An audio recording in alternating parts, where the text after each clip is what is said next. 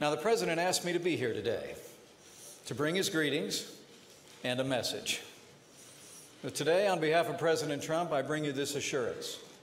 The United States of America strongly supports NATO and will be unwavering in our commitment to this transatlantic alliance.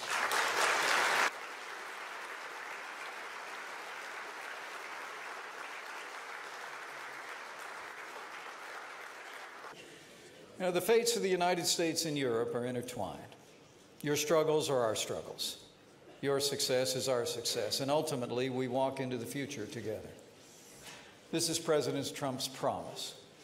We will stand with Europe today and every day because we are bound together by the same noble ideals freedom, democracy, justice, and the rule of law. From these heroes gave the last full measure of their devotion in the cause.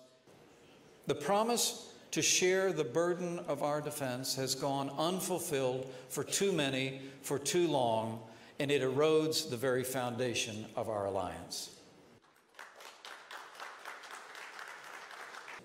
Now, while we commend the few nations that are on track to achieve that goal, the truth is that many others, including some of our largest allies, still lack a clear and credible path to meeting this minimum goal.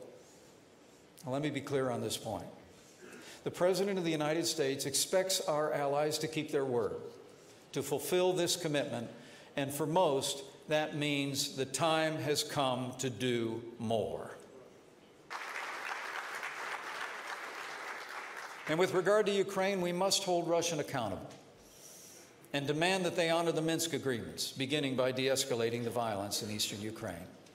And know this the United States will continue to hold Russia accountable, even as we search for new common ground, which, as you know, President Trump believes can be found.